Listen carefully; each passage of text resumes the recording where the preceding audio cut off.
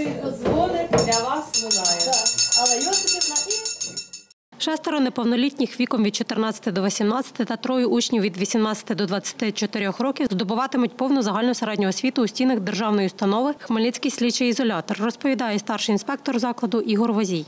З навчальним закладом ми спрацюємо вже давно. У нас було е, раз е, в місяць приходили е, викладачі, а цього року ми зробили, щоб тричі уклали договір щодо е, приходили викладачі тричі на тиждень, тобто в місяць приходило 12 разів було навчання, щоб активніше е, з дітьми навчання проходило.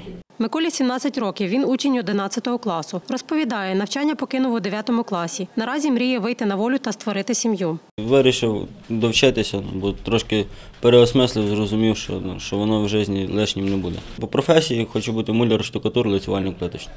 Кожен в Україні має право отримати загальну середню освіту безкоштовно, незалежно від місця перебування, каже директор Хмельницького ліцею номер 15 імені Олександра Співачука Алла Киящук. Сьогодні нам на список керівник подав 9 здобувачів освіти. А це фактично е, малокомплектний клас.